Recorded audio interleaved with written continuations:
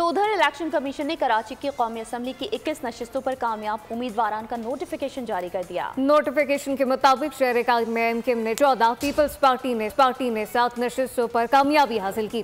पंजाब से भी मजीद दस उम्मीदवारों के नोटिफिकेशन जारी कर दिए गए।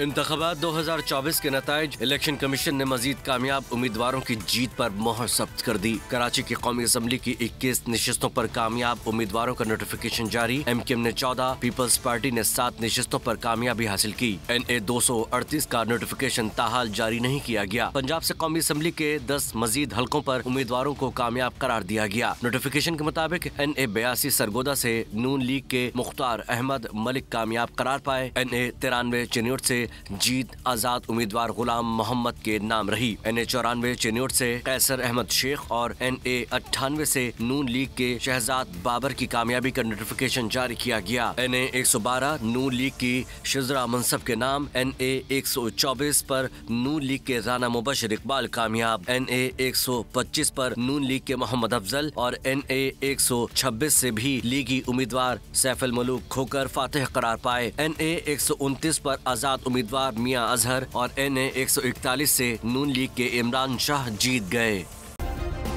सब्सक्राइब करें और बेल दबाएँ ताकि कोई खबर रह न जाए।